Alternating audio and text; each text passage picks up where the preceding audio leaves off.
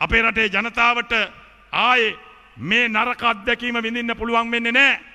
එතුමා පහුගිය කාලේ ඒ කරපු දේවල් නොවෙන්න අපේ රටේ ජනතාවට අද ජීවත්වෙන්න අයිතිය නැති ජනකොට්ටාසයක් බවට පත්වෙනවා. හොඳයි දැන් අප මේ කතාව අතරතුරදී සූදානම් වන්නේ අද මේ සුවිශේෂී අවස්ථාව ශ්‍රී ලංකා නිදහස් පක්ෂයේ 73 වන සංවත්සර උළෙල මෙලෙස සිදුවන විට එහි ගෞරවනීය සම්ප්‍රාප්තිය සිදු වෙනවා අපගේ ගෞරවනීය බලාපොරොත්තුව බවට පත්වුණු ශ්‍රී ලංකාවේ අතිකරු ජනාධිපතිතුමන් රනිල් වික්‍රමසිංහ මැතිතුමන්ගේ ගෞරවනීය සම්ප්‍රාප්තියයි මෙලෙස සිදුවන්නේ.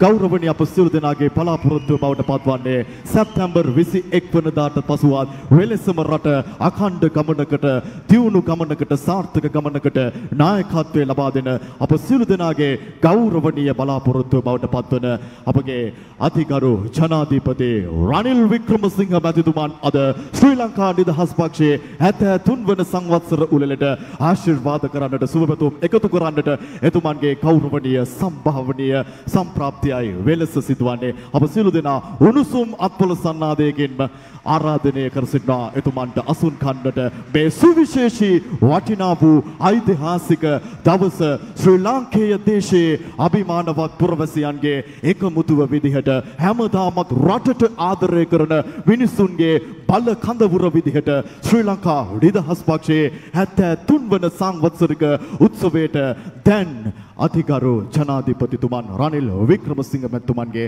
සම්ප්‍රාප්තියයි සිත වුණේ දසත සිසාරා විශ්වාසයේ සන්නාමය.